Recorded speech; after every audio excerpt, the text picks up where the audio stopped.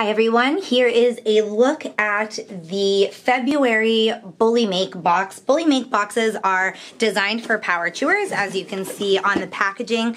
Um, these are for the dogs that really have strong jaws. They love to chew, shred. Traditional boxes that have plush toys and things included are not going to be for your dog. You need something more durable. That's what Bullymake is here for. Um, in every box, you get this little card and it tells you about the toys that you're going to get. You'll get two to three toys in every box. The toys are made in the USA and they also have a 14 day toughness guarantee. So if your dog is able to destroy one of the toys within 14 days, you can send it back and Bullymake will send you an even tougher toy. This one's obviously Valentine themed. They all have a theme. Um, it's pretty cute. So uh, I usually always get a hard rubber toy in my Bullymake box. This month is no exception. These are similar to the rubber that Kong toys are made out of. Very durable. Um, they have a hole in them so you can stuff them with treats or peanut butter or something like that. Um, ours is a cupcake. That's pretty cute. I also have a nylon chew here. Again, this is pretty standard uh, to have a rubber chew and a hard nylon chew. These ones are um, really hard, very durable. So your dog, if he likes to just gnaw on things, he's going to love these.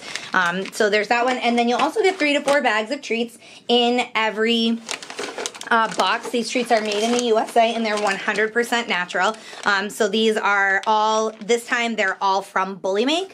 Uh, sometimes I do get treats from other companies, but a lot of times they are from Bullymake. Um, so these are uh, Bullymake Valentines. Let me see if I can look at the ingredients and see. Uh, they're beef flavored.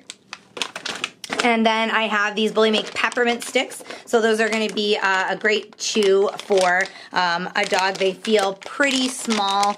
So uh, like for our chocolate lab, it's probably just going to be a little snack, but our beagle might uh, savor them for a little bit longer. And these ones are lovely lamb bites. These ones are um, a biscuit type treat. I can feel them.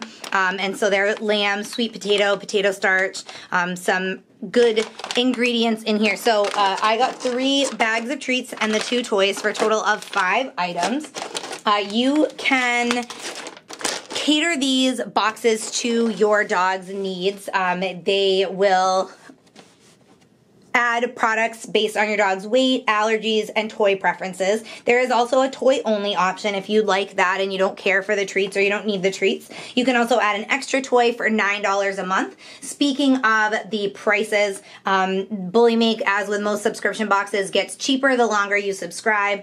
One month is $39. A three month subscription is $36 per box. Six months is $34 per box. 12 months is $31 per box. Um, and you can change the frequency too if you, you know, only want a box every other month or something like that. You can do that. Um, so check out Bullymake. Our power chewer, our lab loves these toys. She's yet to uh, destroy one in longer than two weeks, uh, or sorry, or in shorter than two weeks, I should say. Um, it usually takes her uh, a couple of months to ruin these toys. So we're happy with it. Feel free to reach out with any questions that you might have. Thanks for watching this unboxing video.